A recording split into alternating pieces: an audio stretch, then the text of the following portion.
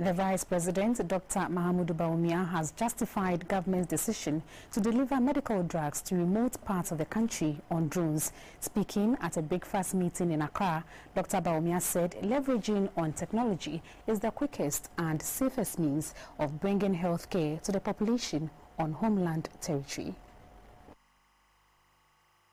As a country, we really should embrace technology. Times we think technology is this far-fetched contraption only for first world countries.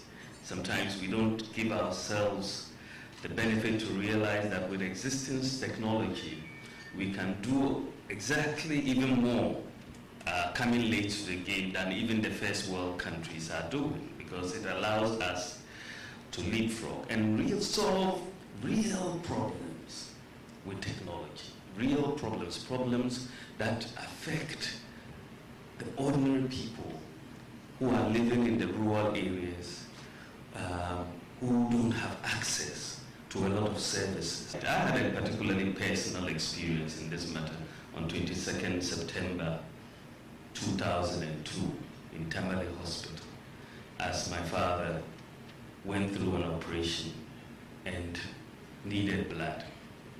We searched high and low. And as he lay dying, by the time we got the blood, he had died. Haunted me and still haunts me.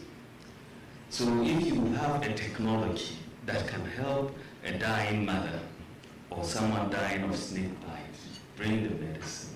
It is something that is so important that we should grab and make use of. It is not a political issue because nobody who is dying is asked whether you are NDC or NPP.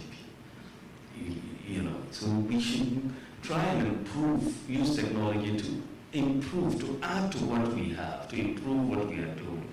And so